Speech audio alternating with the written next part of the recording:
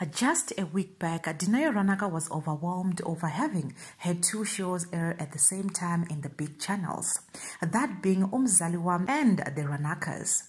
She even had to cry due to the overjoy of finally seeing the fruits of her labor manifest to the world. Hi T Squad and welcome to the Tea World.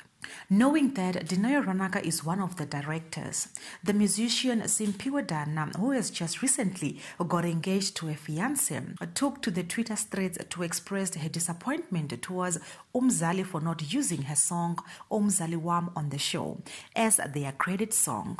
Simphiwe Dana says she is not happy about them not using a song.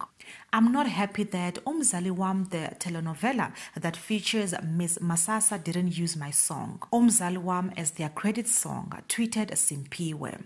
A T-Squad actress Masasa Mbangeni had to redirect the complaint to the rightful people of which Dineo Ranaka is one of them. Dineo answered politely and even thanked her for the music as well. The creative process led us in a different direction, Simphiwe Dana, but it was an option. Thank you for the music, she answered. At T Squad, so far the public is reacting very well to Umzaliwam, judging by their comments. But T Squad, I would like to hear from you.